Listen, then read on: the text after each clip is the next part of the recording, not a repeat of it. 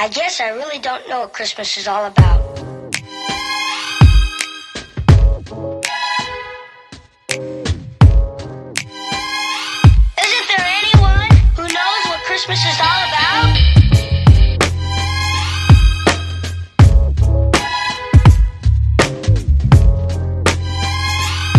I can tell you what Christmas is all about. Chestnuts roasting.